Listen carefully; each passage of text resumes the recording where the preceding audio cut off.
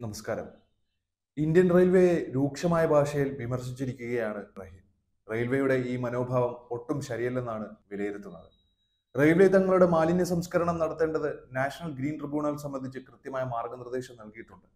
ആ മാർഗനിർദ്ദേശ പ്രകാരമാണ് എത്തരത്തിലുള്ള വേസ്റ്റുകളാണ് റെയിൽവേ സ്റ്റേഷനിൽ ഉണ്ടാകുന്ന വേസ്റ്റ് പലതരത്തിലുള്ള മാലിന്യങ്ങൾ അതിൽ ഉൾപ്പെടാറുണ്ട്. അതിനു പുറമെ ഓടി വരുന്ന ട്രെയിനിൽ നിന്നും ശേഖരിക്കുന്ന വേസ്റ്റുകൾ ഇതിനെ എങ്ങനെയാണ് വേർതിരിച്ച് മാറ്റേണ്ടതെന്നുള്ളതും എങ്ങനെയാണ് ഇതിനെ സംസ്കരിക്കണമെന്നുള്ളതും എന്നതിനെ സംബന്ധിച്ച് നാഷണൽ ഗ്രീൻ ട്രിബ്യൂണലിന്റെ വളരെ കൃത്യമായ മാർഗനിർദ്ദേശങ്ങളുണ്ട്. ആ മാർഗനിർദ്ദേശങ്ങളെ ആസ്പദമാക്കിയാണ് ഇന്ത്യൻ റെയിൽവേ അത് നോക്കി ചെയ്യേണ്ടത്. ഇതെല്ലാം ശരിയായി കൈകാര്യം ചെയ്യാൻ മാത്രമായിട്ട് ഇന്ത്യൻ റെയിൽവേക്ക് ഒരു ഡിപ്പാർട്ട്മെന്റ് പോലും ഉണ്ട് അതിൽ ഉദ്യോഗസ്ഥന്മാരും ഉണ്ട് അതിന്റെ പ്രവർത്തനം എത്രത്തോളമാണ് ഫലപ്രദമായി നടക്കുന്നു എന്നുള്ളത് ഡിപ്പാർട്ട്മെന്റാണ് പരിശോധിക്കേണ്ടതെന്നാണ് റഹീം വ്യക്തമാക്കിയത്. നാഷണൽ ഗ്രീൻ ട്രിബ്യൂണലിന്റെ മാർഗനിർദ്ദേശങ്ങളിൽ ആ ഒരു ഫ്രെയിംവർക്കിനുള്ളിൽ നിൽക്കുന്നുണ്ടോ എന്നതും ഈ പറയുന്ന ഡിപ്പാർട്ട്മെന്റ് അവരുടേതായ കടമ കുറ്റമറ്റ നിലയിൽ നിർവഹിക്കുന്നുണ്ടോ എന്നുള്ളത് പരിശോധിക്കേണ്ടതും അവരുടെ ഉത്തരവാദിത്വമാണ്.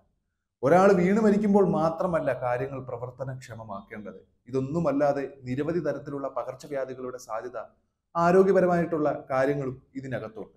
കേരളം പോലുള്ള സംസ്ഥാനം ആരോഗ്യപരമായ കാര്യങ്ങളിൽ വളരെയധികം ശ്രദ്ധ പുലർത്തുന്ന ഒരു സംസ്ഥാനം കൂടിയാണ്. അപ്പോൾ അതിൽ പ്രധാനപ്പെട്ട ഒരുപാട് കാര്യങ്ങൾ ഉണ്ടാവും ആയിരക്കണക്കിന് ആളുകൾ വന്നു പോകുന്ന ഒരു റെയിൽവേ സ്റ്റേഷനാണ് തിരുവനന്തപുരം റെയിൽവേ സ്റ്റേഷൻ. ഇതിൽ തിരുവനന്തപുരത്തിന്റെ കാര്യം മാത്രമല്ല കേരളത്തിലെ മറ്റു റെയിൽവേ സ്റ്റേഷനുകളിലും ഇത് സംബന്ധിച്ച ഈ രണ്ട് കാര്യങ്ങളുടെ പ്രശ്നം ഉണ്ടെന്നുള്ളതും വ്യക്തമാക്കുന്നുണ്ട്. സാഹചര്യം എന്താണെന്നുള്ളത് കണക്കിലെടുത്ത് കേന്ദ്രമന്ത്രിയുടെ നേതൃത്വത്തിൽ തന്നെ ഈ മാലിന്യ ശുചീകരണം പ്രോപ്പറായിട്ട് നടന്നു എന്നുള്ളത് പരിശോധിക്കപ്പെടേണ്ട കാര്യമാണ്. ഒരു സംഭവം ഉണ്ടായാൽ ആ സംഭവത്തിൽ വളരെ പ്രധാനപ്പെട്ട ഒരു കാര്യം റെയിൽവേയുടെ പ്രസൻസ് അതിൽ ഉണ്ടാകണമെന്നുള്ളതാണ്. എന്നാൽ റെയിൽവേക്ക് ഇതൊന്നും ബാധകമല്ല എന്ന പ്രസൻസ് ഓഫ് മൈൻഡാണ് ഇവിടെ നമുക്ക് കാണാൻ കഴിഞ്ഞത്.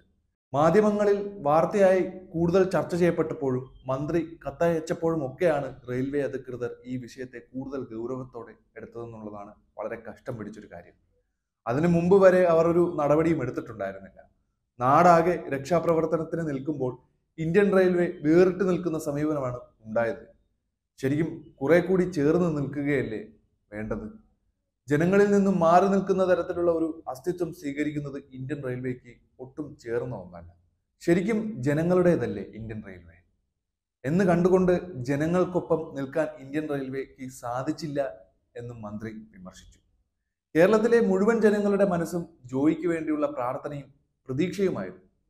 മാധ്യമപ്രവർത്തകരടക്കമുള്ളവർ ഉറക്കമൊഴിച്ചാണ് രക്ഷാപ്രവർത്തനത്തിന് അണിനിരുന്നത്. എന്നാൽ അവിടെ ഇന്ത്യൻ റെയിൽവേയുടെ സമീപനം മനുഷ്യത്വരഹിതമാണ്. ഒരു കൊളോണിയൽ ബോധമാണ് ഇന്ത്യൻ റെയിൽവേയുടെ മനോഭാവം. ശരിക്കും പറഞ്ഞാൽ ആ മനോഭാവം ഒട്ടും ശരിയല്ല. ഉണ്ടായ സംഭവത്തിനെ കുറ്റപ്പെടുത്തുന്ന സമീപനമല്ല റഹീമിൽ നിന്നുണ്ടായത്. ഇനി ഇത്തരം സംഭവങ്ങൾ ആവർത്തിക്കരുതെന്നുള്ളതാണ് അദ്ദേഹം പറഞ്ഞു വെച്ചത്. റെയിൽവേ ജനങ്ങളുടേതാണെന്നുള്ളതും അത് കൂടുതൽ ജനകീയമാകാൻ ശ്രമിക്കണമെന്നും അതിനിപ്പോൾ എല്ലാ അർത്ഥത്തിലും റെയിൽവേക്ക് കഴിഞ്ഞില്ല എന്നുള്ളതുമാണ് ഈ സംഭവത്തിന്റെ പശ്ചാത്തലത്തിൽ റഹീം പറഞ്ഞു വെക്കുന്നത്.